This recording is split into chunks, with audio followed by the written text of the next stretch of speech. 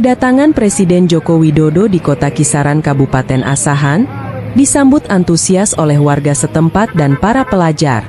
Rabu, 16 Oktober 2024. Kehadiran Presiden dalam rangka meresmikan jalan tol kisaran menjadi momen bersejarah yang disambut hangat oleh seluruh lapisan masyarakat, termasuk siswa SD, SMP, dan SMA yang turut berkumpul di sepanjang jalan yang dilalui oleh rombongan Presiden. Sejak pagi, warga dan pelajar terlihat memadati beberapa titik jalan yang akan dilintasi iring-iringan presiden.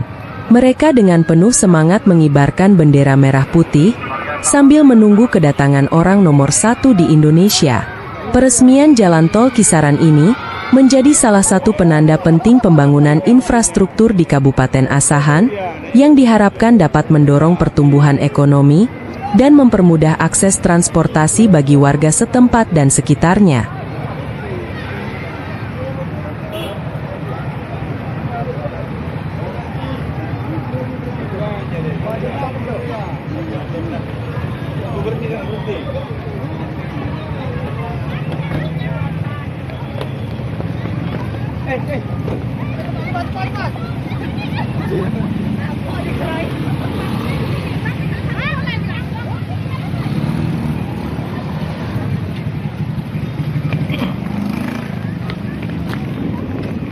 Hãy subscribe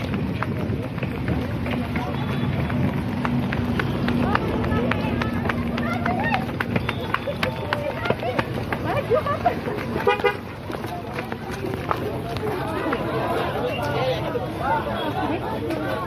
Để không bỏ lỡ những video hấp dẫn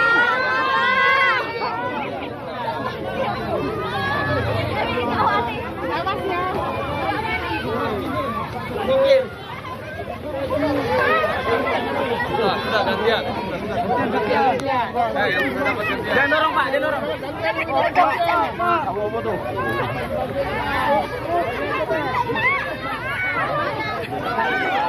Minggir, minggir, Eh, minggir, minggir. Minggir, minggir. Dapat, dapat. Itu jauh. Satu. Dapat satu.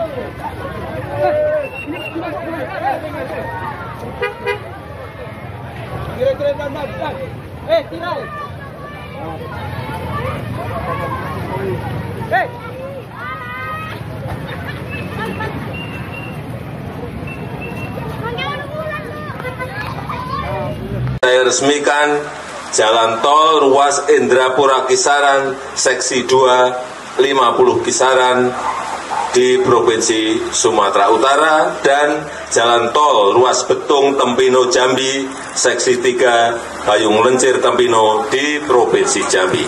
Terima kasih. Wassalamualaikum warahmatullahi wabarakatuh.